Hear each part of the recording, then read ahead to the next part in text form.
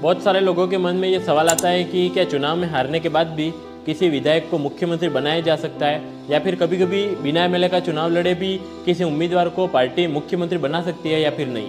तो आपको बता दूँ कि भारतीय संविधान के आर्टिकल एक चार के मुताबिक बहुमत पाने वाली पार्टी की ओर से प्रस्तावित किए जाने पर या फिर किसी पार्टी को बहुमत नहीं मिलने की स्थिति में उस राज्य का राज्यपाल अपने अधिकारों का उपयोग करते हुए किसी भी व्यक्ति को मुख्यमंत्री पद की शपथ दिला सकता है। और इतना ही नहीं, राज्यपाल अपने अधिकारों का इस्तेमाल करते हुए किसी आम इंसान को भी छः महीने तक राज्य का मुख्यमंत्री बना सकता है। लेकिन अगर उसे अपना कार्यकाल पूरा करना है तो शपथ लेने के छः महीने के अंदर राज्य की किसी न किसी विधानसभा सीट से उपचुनाव लड़कर, जीतकर सदन में आना होगा। या फिर राज्य के विधान परिषद का सदस्य चुनकर आना होगा।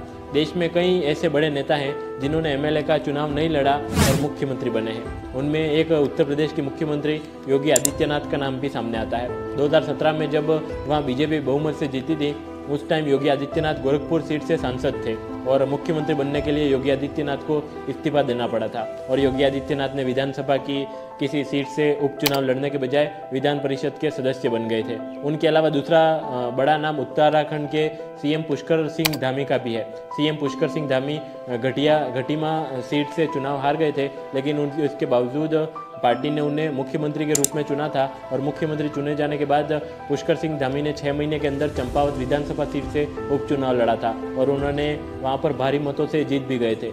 आपको हमारी जानकारी कैसी लगी? कमेंट सेक्शन में लिखकर ज़रूर बताएँ और ऐसी तमाम जानकारियों के लिए चैनल को सब्सक्राइब ज़रूर करें।